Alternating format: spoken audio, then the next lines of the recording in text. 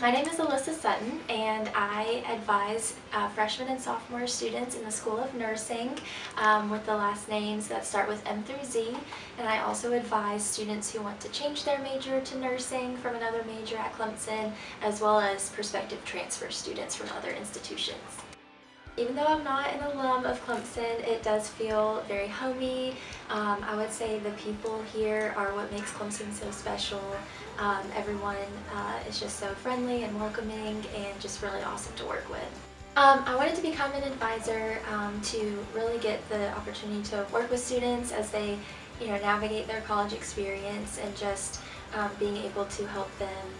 exactly craft what they want to get out of Clemson, out of their nursing experience, um, and just building those relationships with students. Um, when I was in college, I definitely had mentors um, around campus who I could not have gotten through college without, and just being able to go to them with questions or to celebrate good things that were happening to um, really inspired me to want to